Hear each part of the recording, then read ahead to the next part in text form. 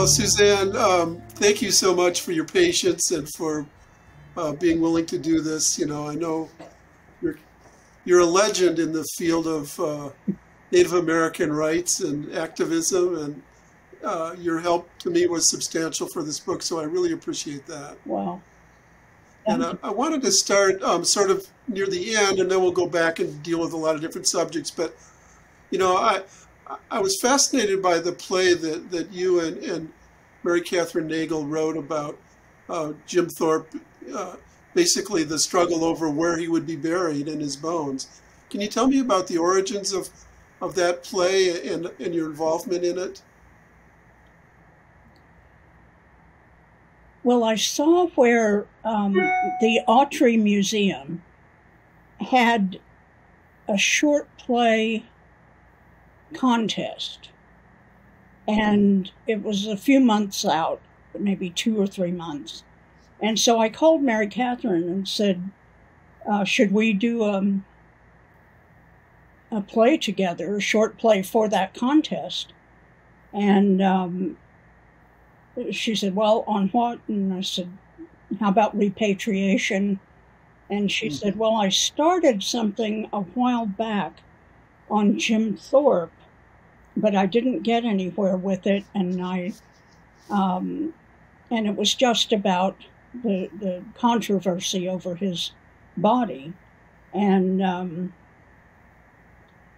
so I said, well, let's go with that. So we did, and and and um, wrote a play, a short play, uh, with that as a as a jump start, and we were uh, that play was chosen, I think they chose five uh, to present in um, in staged readings, not full uh-huh. production, but a staged right. reading.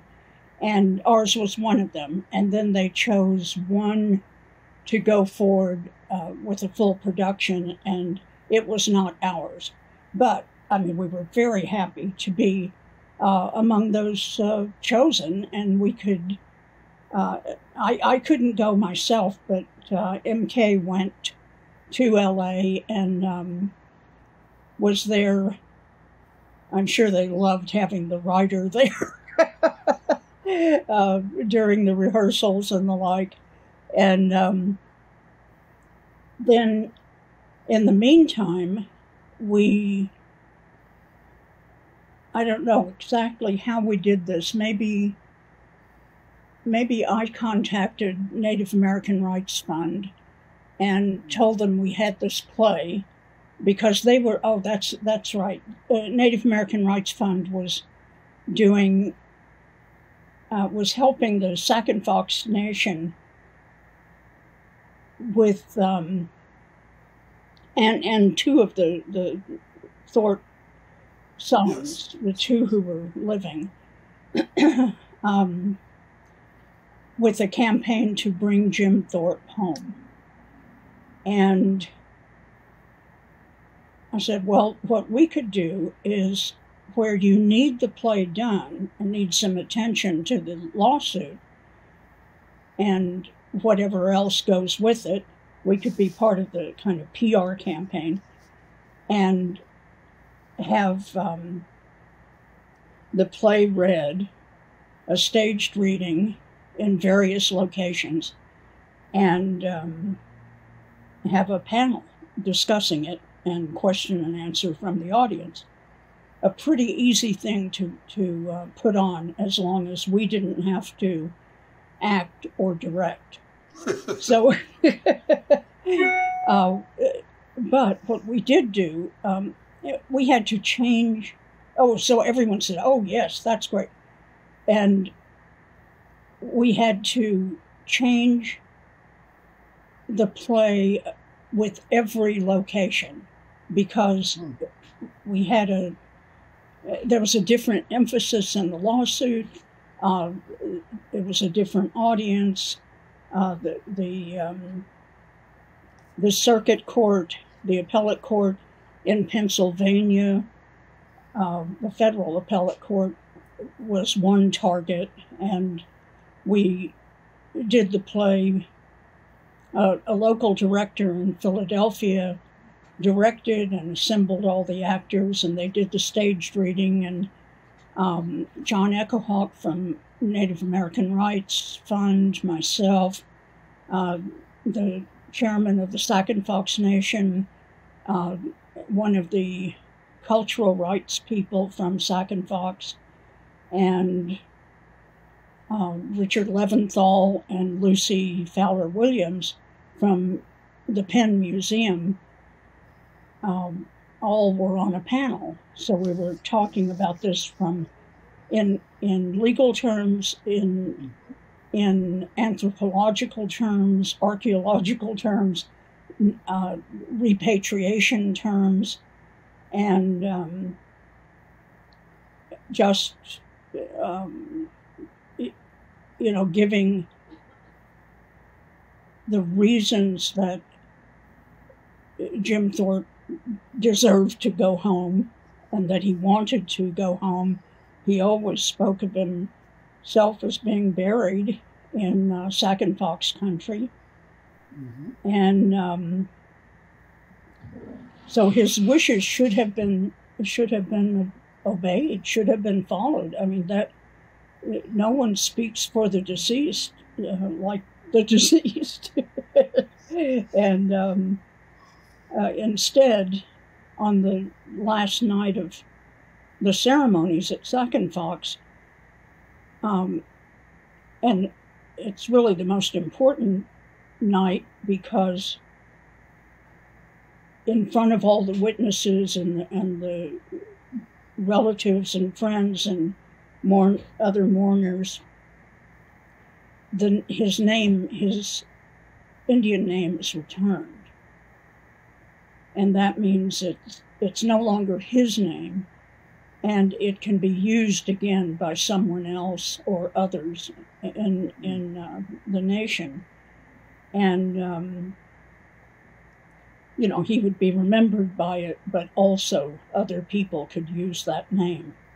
Um, so that's the last step before actual burial for the Sac and Fox people. And so they were finishing that ceremony, and in through the doors that are only used during that ceremony to to uh, go out.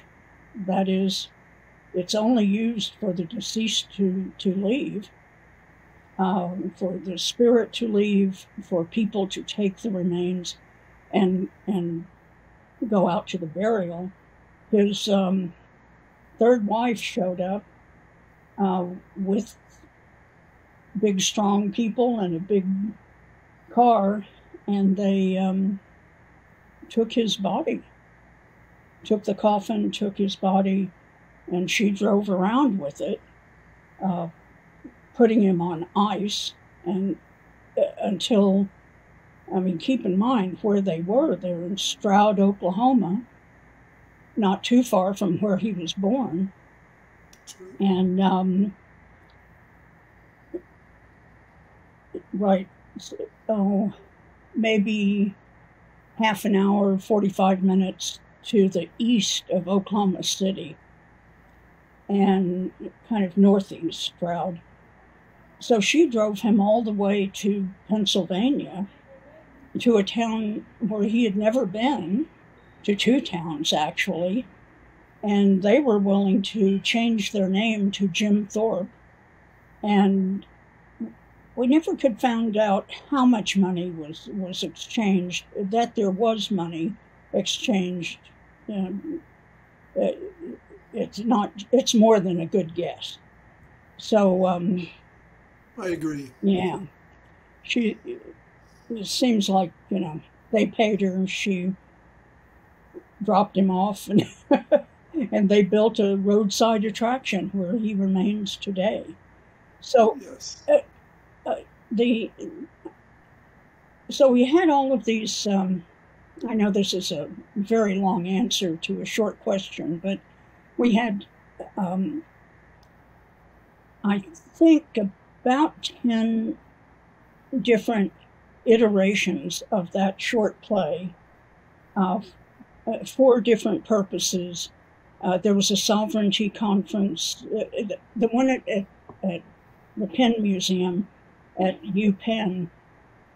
Um, we thought uh, would be a prestigious school for the judges on the appellate court to pay attention to that something is being done on this subject. And and um, you know a clerk might even show up there that kind of thing. Mm. and who knows if that happened or not but they did not um, rule the way we would have wanted. Um, and we had there were we did the same sort of thing in Oklahoma uh, at the Sovereignty Conference every year. The Oklahoma Supreme Court does um, a sovereignty conference, a Native Sovereignty Conference.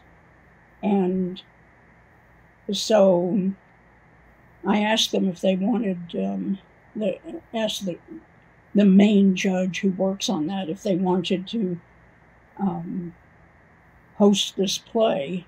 And they, she said, Oh, yes, of course, Judge Kauger. And um, so we did the play in the, the judge's building, um, which has a beautiful theater with a glass floor that actors always hate performing on. you slip and slide. But um, uh, beautiful, beautiful setting, and um, and they had everyone there to see the play and to have conversation about it um, before they had what they were hosting as the opening reception for for the whole symposium, and it's a it's a really important symposium nationally and especially important in Oklahoma because you have uh, because the, the Oklahoma Supreme Court is, is sponsoring it, so mm-hmm. you have lots of judges who are interested, tribal court judges, state judges, federal judges, and lawyers who are interested, and tribal leaders, and it's a real mix of um, people. So uh, that was another place we wanted to to show this. But we also did a guerrilla theater kind of thing of uh, taking it to a mall and showing it that afternoon. Um, same cast, same local cast, and this was an all native cast and native director um, because it's Oklahoma and that's where the Indians are. So um, uh, they did uh, a, staged reading there in the mall and uh, then redid it in the grand uh, theater of the Oklahoma Supreme Court justices.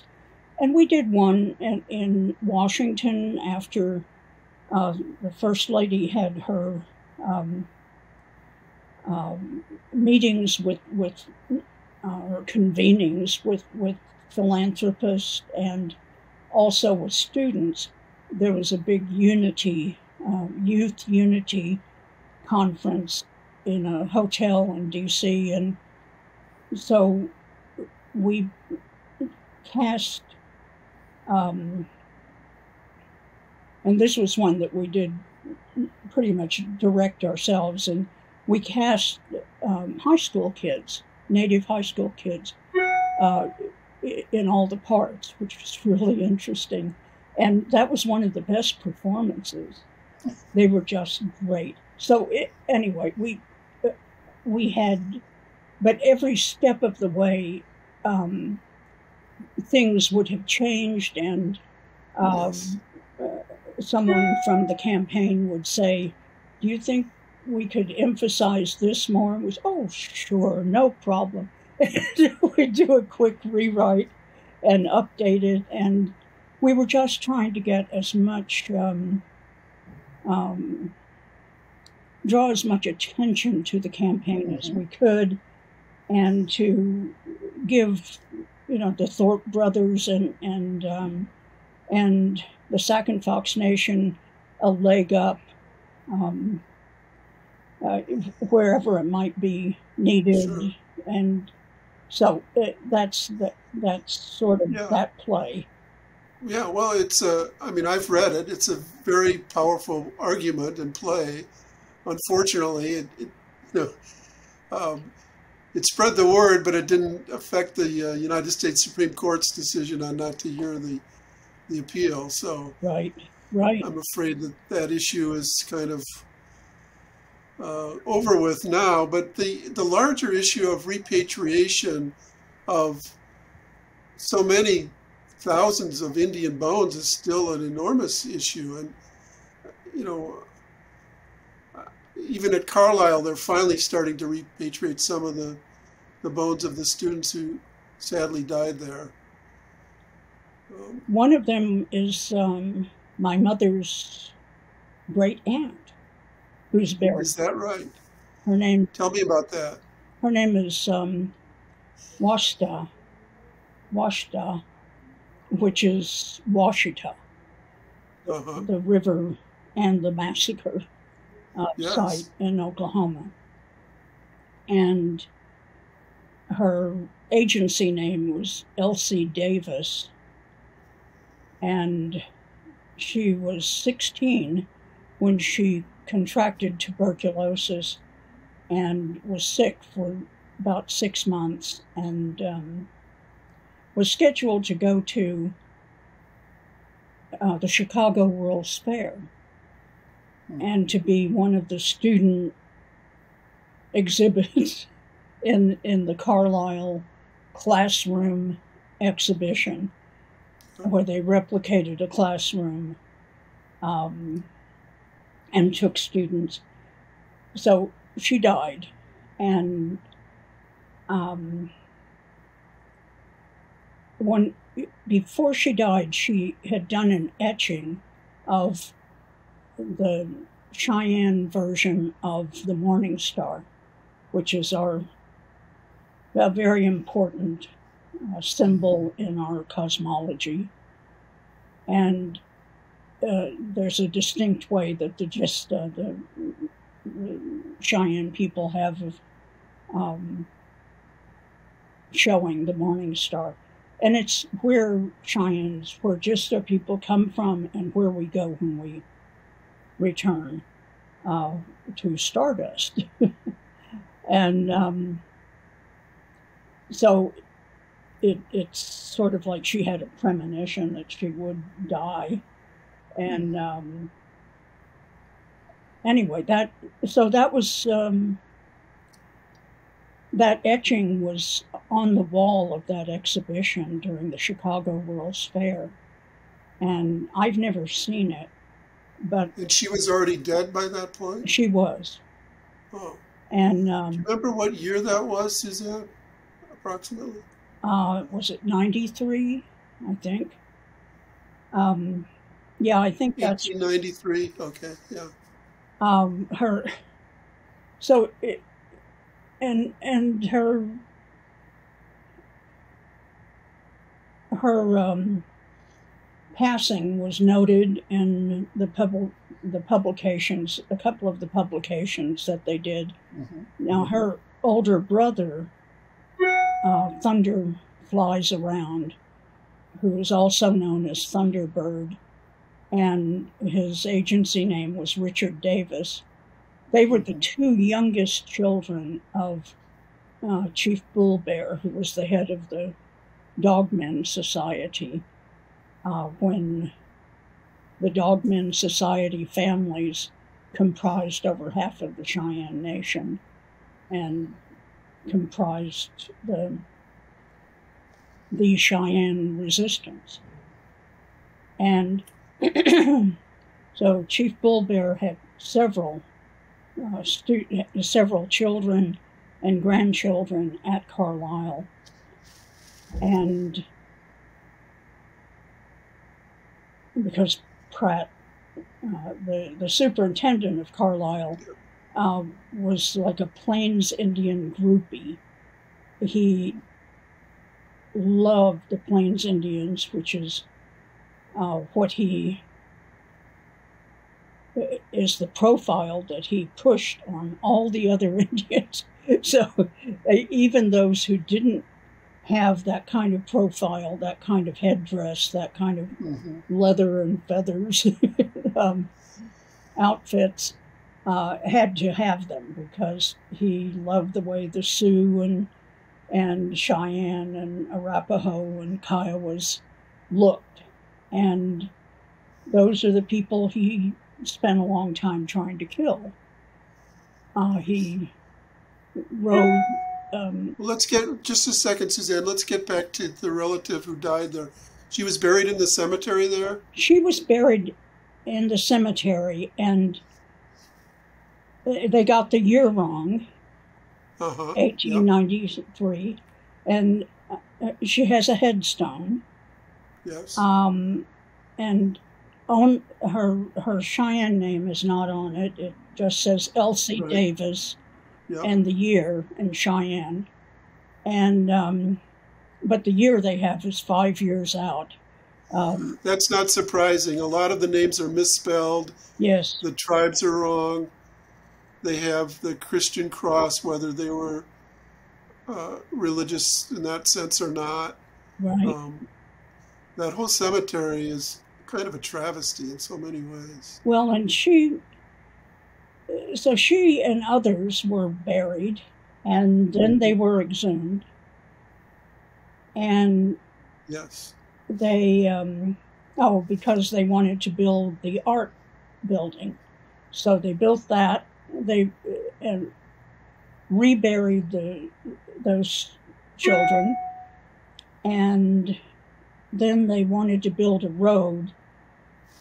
So they exhumed them again and built a road, and then they exhumed them again to make way for a stadium, and then supposedly uh, reburied them in the historic cemetery.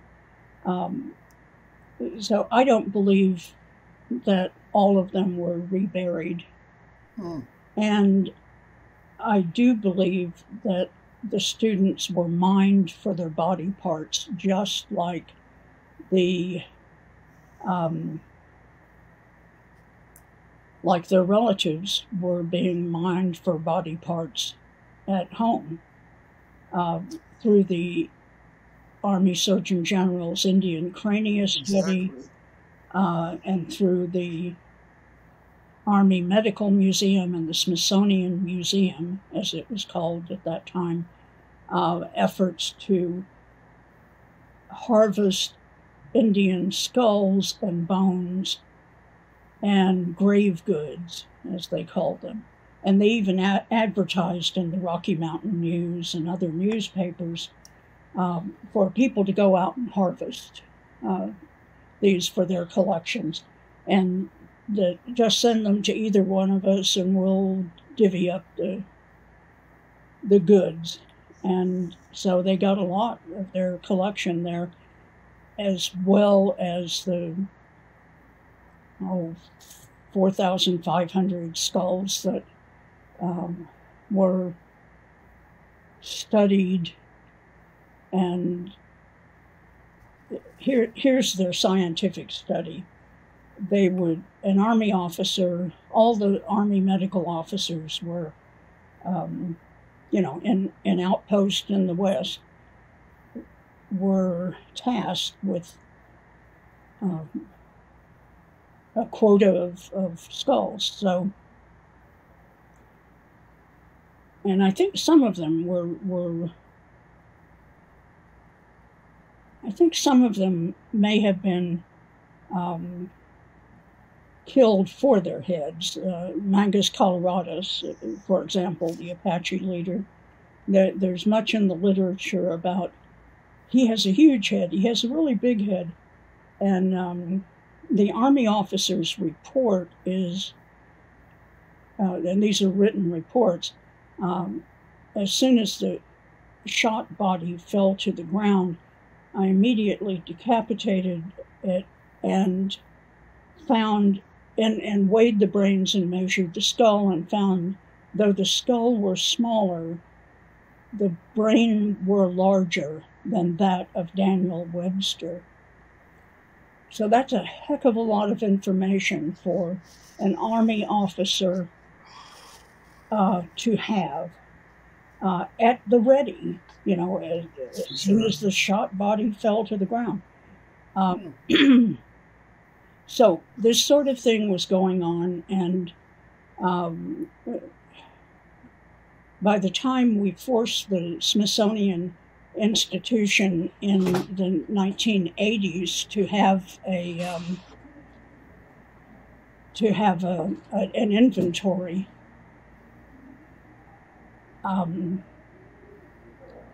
they had 18,500 human remains and um, 4,500 skulls. And that was um, in 1986. And how many do they have now? Um, I'm not sure what it's down to. Uh, but you've been able to repatriate many of them? I think many of them have been repatriated. Um, have all of them? No. Have most of them? I think not. Uh-huh. Um, but, you know, it's kind of slow going because immediately they disassociated um, what they called the grave goods, the funerary objects, and we changed that whole lexicon in mm-hmm. um, in repatriation law, um, mainly because you know I kept hearing you can't legislate respect. You can't. Well, what you can do is force people when they're when they're acting within a certain law to use a certain language. So we changed specimen and bones and skeletons and all of that to human remains. We changed grave goods to funerary objects and sacred objects and so forth. So um, it, it's as close as you can get to legislating respect by just forcing people to use uh, non racist language. Exactly. So, Suzan, yeah. we could talk for hours and hours about any one of these subjects. and I, I love, you know, to listen to you. But let me let me move on a little bit, okay? Um, I want you to tell the story about your father and the dinner table. well, Dad went to two um, boarding schools. He was taken to Yuchi Indian Boarding School in Sapulpa, Oklahoma. Um, and he was, uh, after that, he went to Chilocco, uh, Indian Agriculture uh, uh-huh. Boarding School, where he met my mother. And they fell in love and then he went away to war. She went away to Haskell uh, boarding school, and they um, uh, they got married after he got shot up at Monte Cassino and uh, uh returned as a war hero and a disabled veteran, and had to go back to Chilocco Indian School because he was uh, had been taken when he was a sophomore. And so he, he went back. Um, and boarding school looked better after being in war. So he went back and finished his high school, um, got his high school diploma um, in in the year after the war. So he, he graduated with the post war group. And um, when he went to Yuchi Indian School. He spoke Muskogee, and that was his language. And he could speak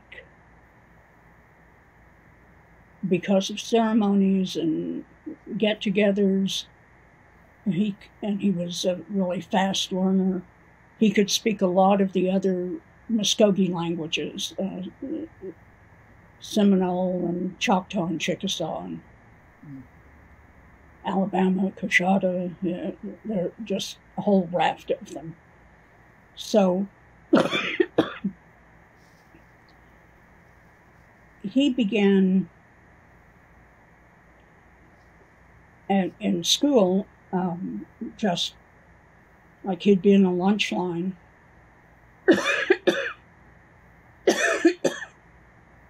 Sorry. He'd been in a lunch line and um, he'd say to the kid next to him, Buck's John, let's go eat, boy.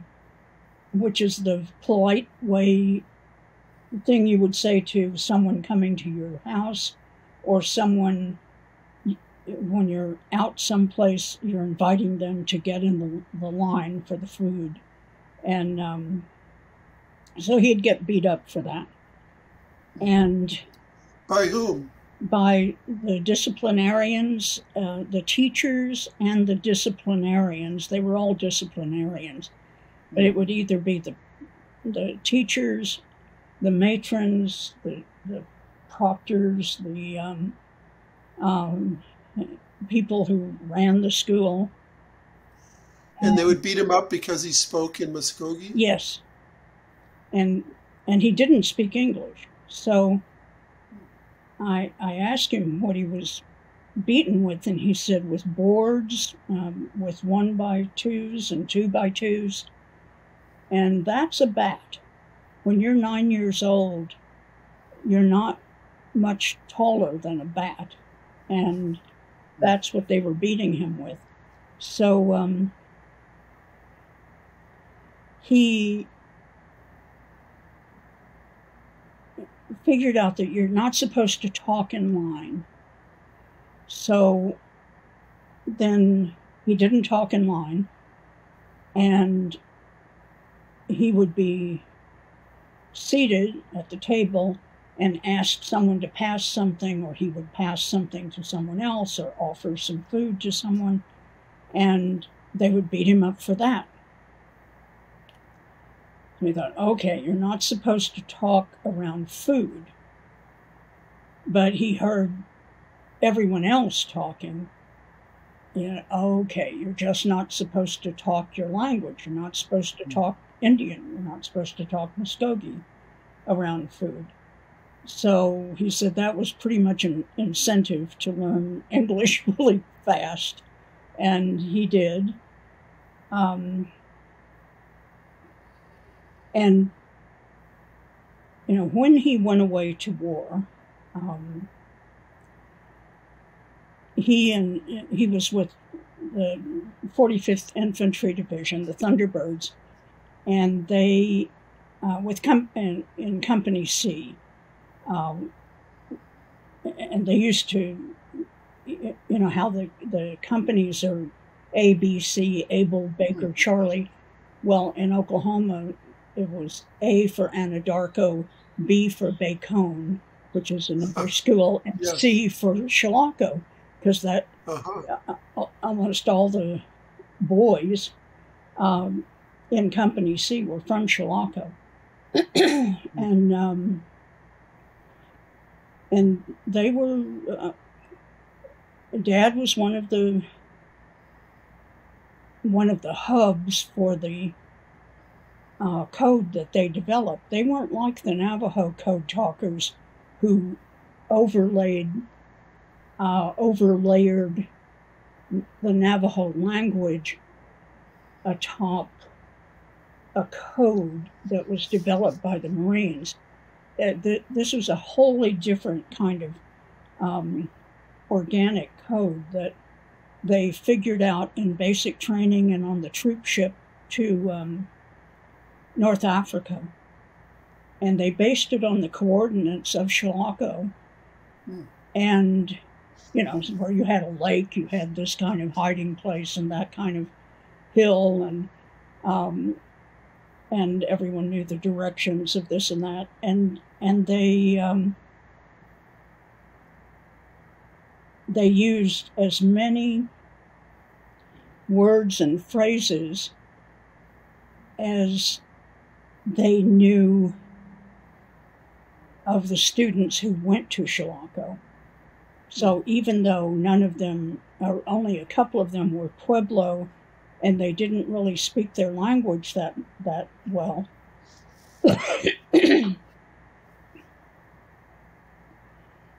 they were um, they would all of them all the students irrespective of, of how fluent they were or how conversational they were they all knew words and phrases and had relatives or could describe someone who looked a certain way that uh, and that so they would use that aspect of that particular person in that particular student's Mm. family you know now soldier's family Right. to mean italy uh-huh. or to mean That's how they use the code. Italians or and then you know on this would mean Nazi and that would mean so they um and they became rather famous for it uh, in North Africa and their superiors would uh, approach them and say okay, we need, you know, reconnaissance and you go here and you go here and here are some walkie talkies and just talk to each other. and uh, so th- they did that. And, Yes. and um, so this was, it, it's so ironic that the language that, that they were beaten up for um, and tortured really for speaking or singing or thinking uh, in was um, part of what helped win the war at, at in Europe and um, in uh, in the Pacific theater because lots of these uh, um, almost every native nation in the United States uh, had some sort of code, even if they were only using their words for, you know, word for word. And it wasn't strictly speaking a code, they were just using their language. Uh, they still had um, some sort of code. And, and then out of these boarding schools, uh, you had that mix of language where uh, you developed a code that could never be broken uh, at, under any circumstances. And Dad used to say that they were perfectly schooled to be, um, they were perfectly schooled to be um, prisoners or to be soldiers uh, by their experience in boarding school uh, because they they learned to withstand torture, they learned loyalty to each other, and uh, never to uh, turn each other in or um, rat on each other. and That's very powerful, Suzan. and they- Prisoners, they were not or- afraid to, Yeah. and they they could evade the enemy. yes. So that But the, that that's the trauma of that early experience um, at when he was beaten for speaking in Muskogee when he at the at the table is something that you noticed about him for the rest of his life, right? Sure. I and so even you know after he graduated from from Chilocco, then the army um, had a recruitment for disabled war veterans, especially those who uh, they could teach cryptography and how to decode and how to make up codes and decode them. And so dad was part of that um, in the army, and he he learned lots of different languages at at the Presidio at Monterey, for example. Uh, uh, uh, three dialects of Chinese and the Korean Wow. language in 11 Wow. months. It's a total immersion thing. But um, so, and, and he picked up European languages like, like they were um, his second language. So, So how many languages could he speak? Well, I'm not really sure. Uh, I know it was at least nine. Uh, Um, it depends on how you count the, the Indian Sure. languages. Um, but he he was um, and and uh, he spoke a pretty sophisticated language. Um, you know, to to be able to um, write code in those languages. It had to be pretty nuanced uh, in the language. So um, that was his orientation, and even with all of that, he and his perfect uh, diction and grammar and, and so many languages, he um, only stuttered in one, and that was Muskogee. Hmm. And why? Well, because that was the one he used to get beat up for speaking. So, uh, and it, he didn't stutter in ceremony, which was interesting. And he didn't stutter when he was singing in Muskogee. Um, but just talking in a formal way or talking in just a conversational way, he stuttered. And from that experience, too, the other lasting thing was that he really had a hard time eating and speaking um, at the same time. I mean, it ju- he couldn't do it. He couldn't talk at the table. And whenever we lived with mom and dad, sometimes we were raised by our grandparents and on the east side of Oklahoma and on the west side of Oklahoma. Um, but mom and dad took us to the garden spots, to Hawaii and Naples, Italy, and uh, and that was always great being with them in these fabulous places. And so he would, um, when we all lived together, uh, my brothers and my and myself and our parents, we would. It, he developed a routine where he would ask us questions, and we would have to, whatever it was, we would recite something. We, he he loved poetry.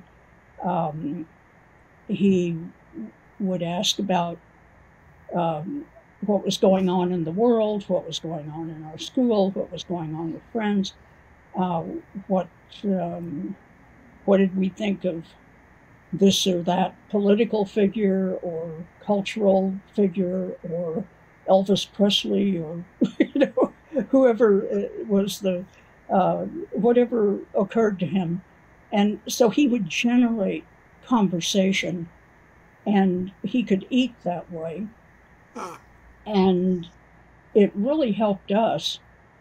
And I didn't notice that that was the reason he was doing it. I knew that what we were doing was different from a lot of my friends, and that we had a, table that was very active and and um, inquisitive and curious and all of those things, and that we were expected to know stuff and to and to uh, be able to uh, call. So we were learning all sorts of great skills um, from his inability to make conversation himself around food. He just couldn't do it, and. Um, at times he would just kind of pull back from the table and go into another room um, which, I mean, we didn't attribute that to anything. We thought that was just his way. um, but when we really, my brothers and I really were the beneficiaries of my parents, our parents having gone to boarding school and having had some pretty bad experiences uh, with abuse and, um, you know, just emotional violence and physical violence and uh, torture and all of those things. Um, you know, in, in addition to being malnourished and, uh, you know, all of the things that go with uh, that kind of setup where, where people are buying um, food on the cheap and, um, you know, not the best cooks in the world and uh, you're, you're kind of eating slop and that sort of thing. So, uh, and my parents, our parents, really made it a life mission to figure out with precision how they did this to us, how that happened. And dad would say, like my mom would say, well, in our way, in the Cheyenne way, this, this, and the other thing. And he would say, That's not Cheyenne, that's Chilocco. and she would say, uh, Well, you know, that's not Muskogee, that's Yuchi, Indian school. And they would, they were each other's ears. And um, hearing that was pretty amazing. Um, what what they were able to do. Yes. Um, again, I could talk about that subject forever too, but let's move on to another one. I know that you've devoted a lot of your, among the many, many things you've done, um, you've been a leading spokesperson trying to change the racist mascots of athletic teams. Um, when did you get involved in that, and how do you feel about how things are changing now? Well, I don't remember getting involved. I, have just always been involved. Um, okay.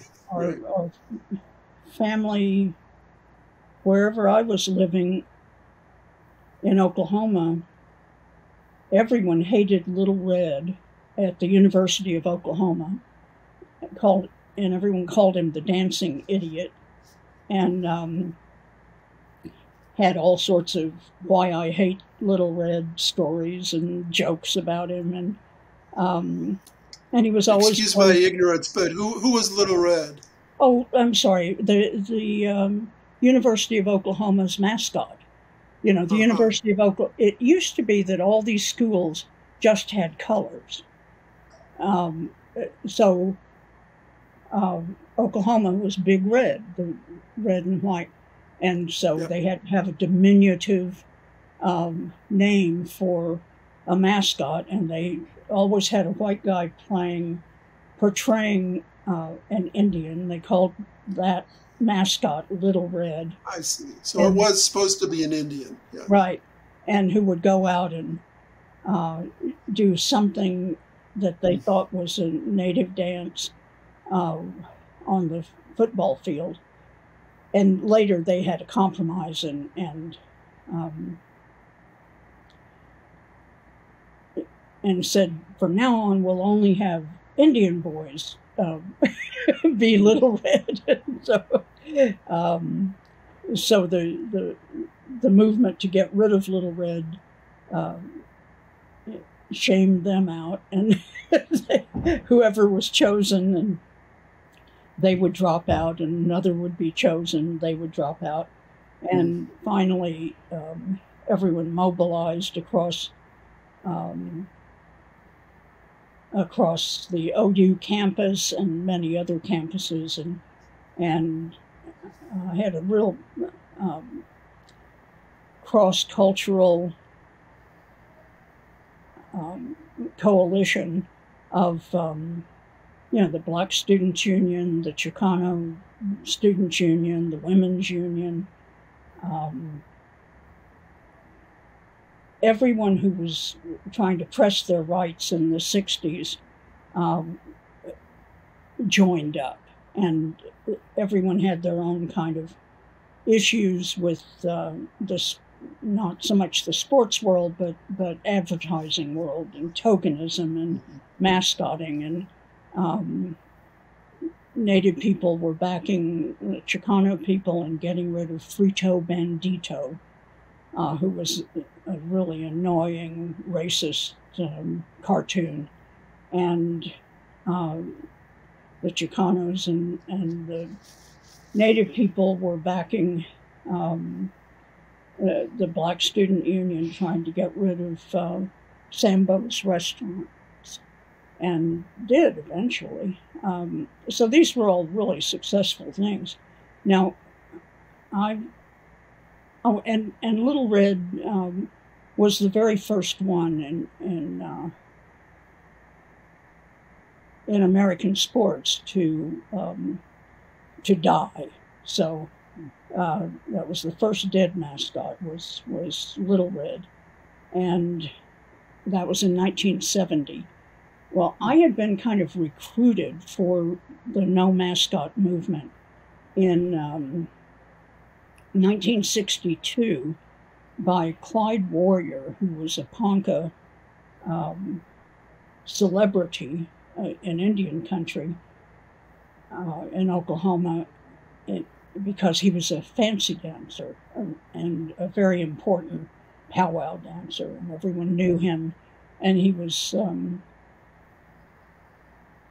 and he was the head of um, Oklahoma, uh, what was it, Oklahoma Indian Youth Council, and was starting with some people from the Northwest and from Nevada and other places around the country, the National Indian Youth Council.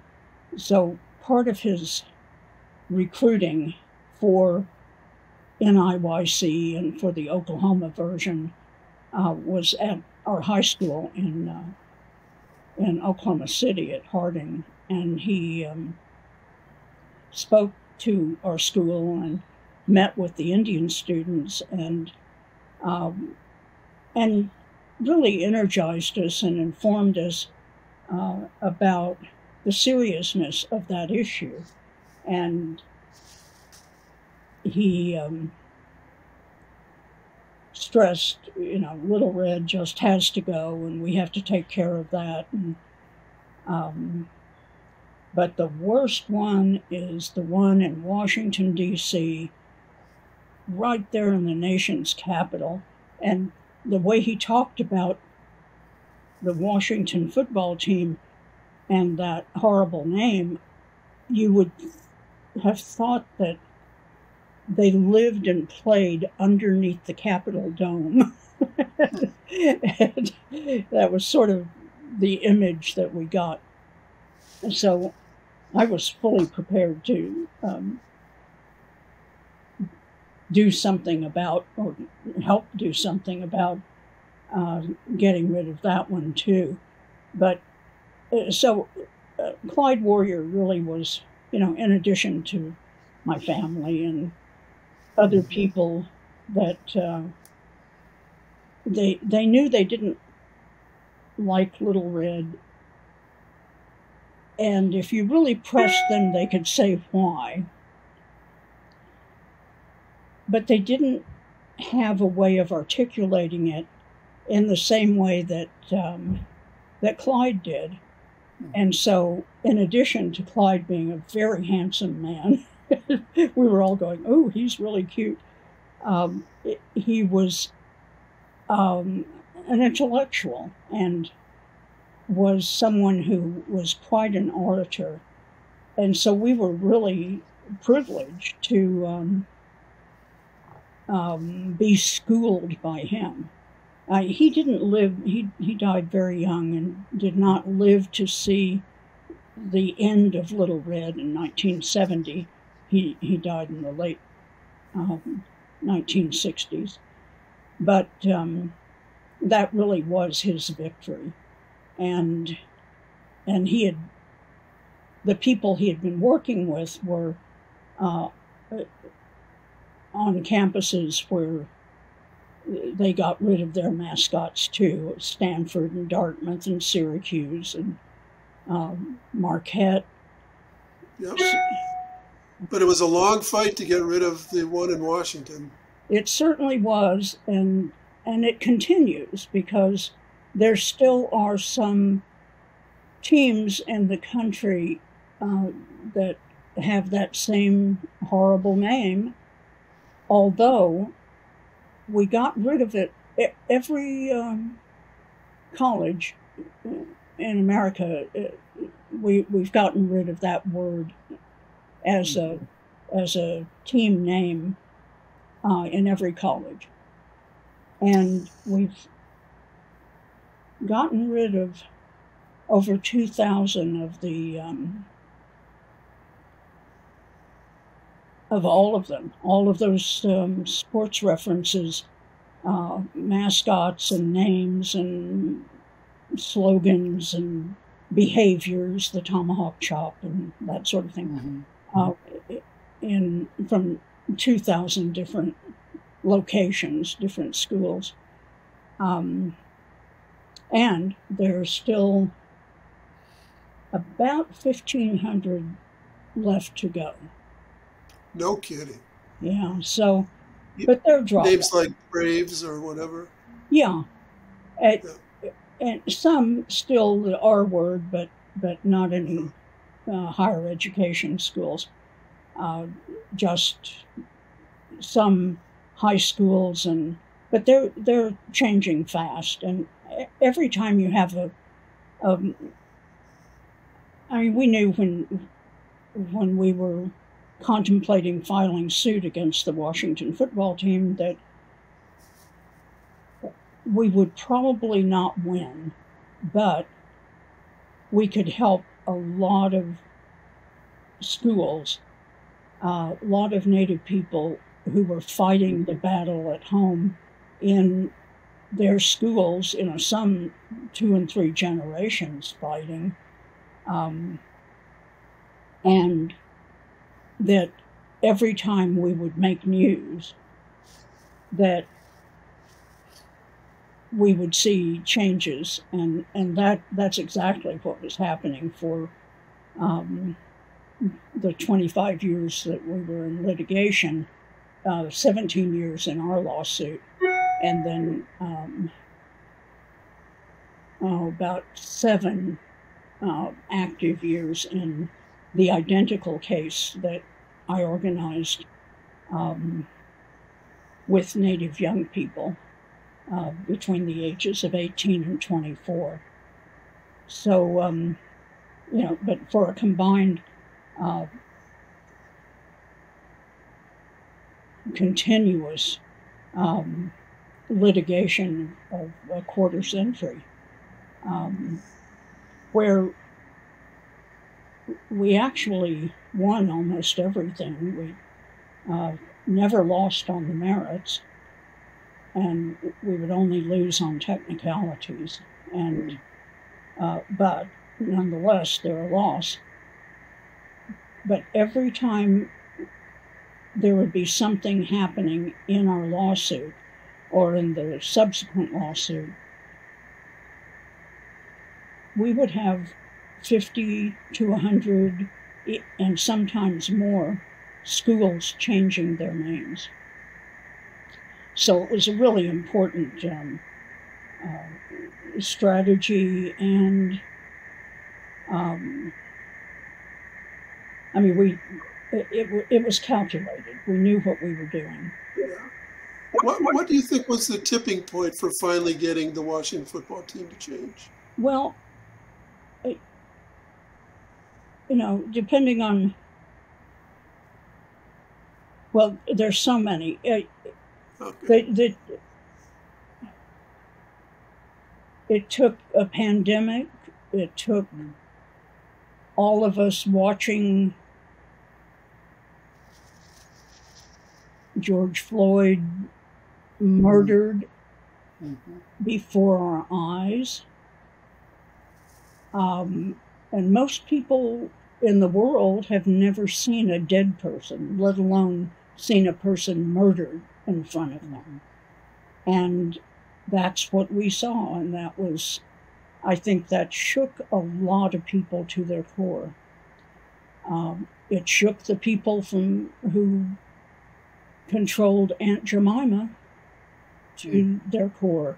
It shook Fred Smith, uh, the owner of uh, FedEx, to his core. After being hard hearted and uh, just messing with us for about 10 years and not doing anything to um, keep FedEx out of the management and promotion business for the team and being its main enabler. But something happened there, and you know, then of course, an economic meltdown. The the cheerleaders and their yep. um, their openness about what was happening, the women who worked in the front office, uh, bringing their complaints of, of sexual harassment to the minority members of the owners, the minority interest owners, Fred Smith and the two others who owned 40% of the team, um, of the franchise. Um, that, I think, had a lot to do with it. Uh, the general disgust, uh, as I understand it, um, on their part about Daniel Snyder. Um, he's just not a very well liked person. That's and, an understatement. and, and, so it's a perfect storm of a lot of different factors. A lot of different factors, yeah. and yeah. and I mean, we knew who he was. Uh, he he bullied us no more than Jack Kent Cooke had. We sued him first, or John Kent Cooke. Uh, but still, he bullied us, and then really, really was nasty to us, and and did a lot of very underhanded things. Um, the the lawyers did uh, went out, for example, they went out to uh, Pine Ridge and Rosebud um, in South Dakota to Sioux reservations. And they went to the One Star family. And the One Star man was um,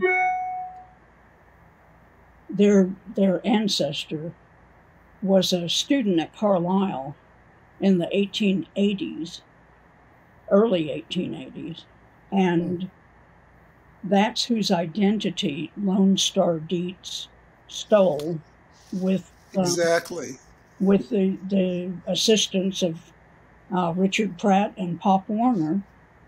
Um, Pop Warner, who uh, recruited and all sorts of ringers who were not native and who were not even teenagers. Suzan Pop Warner is the villain in my book. Excellent, excellent. Yes. He just um, and Lone Star Dietz was not really an Indian. No, he was not. He was not an Indian, uh, despite the the Washington football team's propaganda that he was a full-blooded Sioux, and he wasn't. He had two parents who were German, German American. Uh, that he was from South Dakota. He wasn't. He was from Wisconsin. Wisconsin. And um, that he was a beloved coach. Well, how beloved can you be uh, to last only 11 months? That doesn't sound like a really beloved guy to me. But he was there when the Boston Braves became the Washington Redskins. He was. He was. Yeah. And probably um, it, Pratt didn't like that term redskin. Uh, Pop Warner seemed to really like it. and Dietz was an accommodationist to Warner. Mhm. And um, so tho- those um,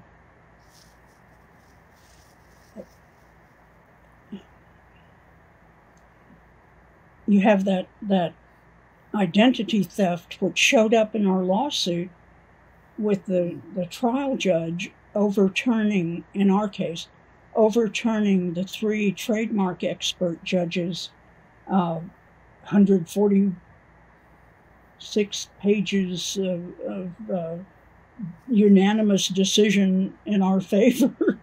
Um, and and the way she started off her opinion was that w- with the team propaganda that he was this um, uh, Lone Star D that the reason they were honoring us and not offending us was that Lone Star Dietz was native. He was a full-blooded Sioux from South Dakota and beloved coach, and they wouldn't have named a uh, used a bad word or a dishonorable word uh, because of how wonderful he was, and they were trying to uh, promote him. So It was all a fraud. it was all a fraud, and which they the Daniel Snyder still hasn't copped to. Um, so they went out. Two of the lawyers from White and Case went out to um, to Lakota country, and I got a call from um, a friend of mine who was the attorney for Bob Goff who was the attorney on, on a lawsuit about Crazy Horse malt liquor. Uh, the Tiyospaye, the Lakota extended family of Crazy Horse, did not want his name used, uh, especially not for uh, malt liquor. And so they got that taken off the market. And but they were fighting that battle, and the, the One Star family was a part of that, was part of the descendants of um, Enchanted Horse, Crazy Horse. And, and so there was a a belief that Lone Star was related to the One Star family, or yes, was that right, because he had um, he had falsified his right? um, his credentials and taken on the um, the the identity of one star Yes. James So the lawyers went out to Lakota country to and try to do what? they went out with lots of clothes with the R word all over it, jackets and Oh, everything. And they wanted Mr. One Star to sign something saying that Lone Star Dietz was his uh, ancestor and that they had no problem with the name and they wanted to honor their ancestor. So, um, Mr. One Star was telling me about, oh, Bob Goff put him on, and um, so he was telling me about the clothes. He said, "Oh, our kids love the clothes." He said, "It's a real cold day here, and they put on sweatshirts and they had t-shirts and they have sweatpants and they have a jacket and they have hats and they have everything and and everything's really warm and they're playing and they're all really happy." And then he he said these lawyers gave me their paper and so I told him I couldn't sign that because it wasn't true. He said, So I- said, We'll take the clothes, we'll keep the clothes, but I just can't sign your paper. And he said, They went away with really long faces. I thought, how tacky, uh, trying to go out there and bribe them through their kids and, you know, to get some sleazy thing like that. Uh, it, Horrible. I, I, sh- I will say that in our 25 years of litigation, they never produced a single Native person on their side who would withstand court scrutiny. I mean, they didn't even try Yeah. because they they were just coming up with people who were fakes, who were um, just.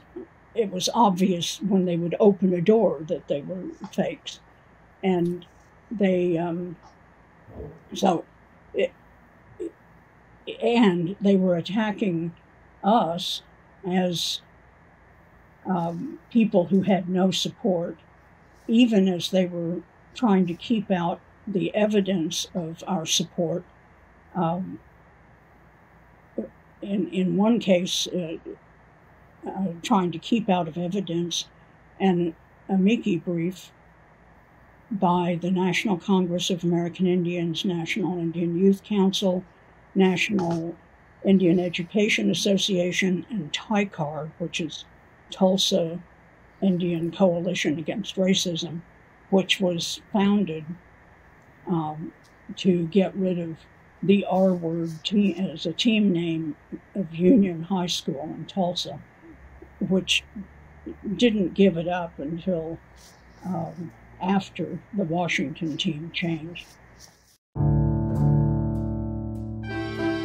Path Lit by Lightning The Life of Jim Thorpe is available online and at bookstores on August 9th. Visit davidmaraniss.com to order your copy. This has been an episode of the David Maraniss Ink in Our Blood podcast. We hope you enjoyed it and that you'll subscribe to the Ink in Our Blood podcast on iTunes, Google Play, Spotify, or whichever podcast service you prefer. If you loved it, we'd love it if you left a rating and review. Ink in Our Blood is produced by Metamorphosis.agency. Music has been written and provided by Monica Ryan. Ink in Our Blood is hosted by Sarah Maraniss Vanderschaff. Thank you for listening.